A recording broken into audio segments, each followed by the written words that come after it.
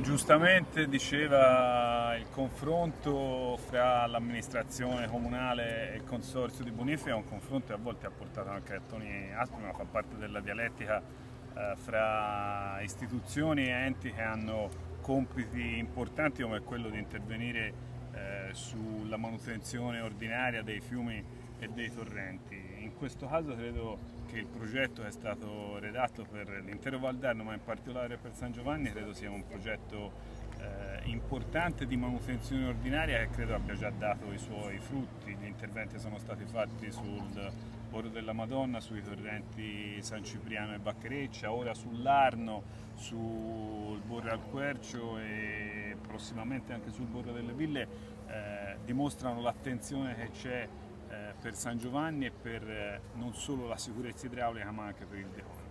Poi c'è il progetto su cui il Consorzio sta lavorando ormai da alcuni anni, che è l'intervento che verrà fatto fra Ponte Pazzi e Ponte Pertini, che mette in sicurezza la sponda destra, la riva destra dell'Arno e, e riporterà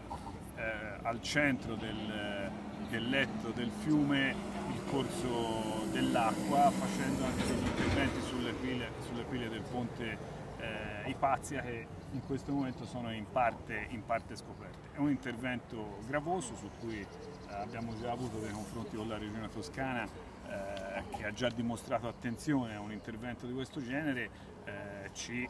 confronteremo nuovamente eh, nei prossimi mesi perché ci possa essere questo finanziamento, è un finanziamento ospicuo ma penso San Giovanni ne abbia bisogno perché ormai sono diversi decenni che non si fa un intervento di questo genere e eh, chi conosce la nostra città e le nostre eh, lame dell'Arno sa bene che siamo in un momento in cui o facciamo questo intervento o c'è a rischio davvero che ci siano delle frane che possono pregiudicare anche la sicurezza dei cittadini e la fruibilità delle sponde sulla riva destra in particolare.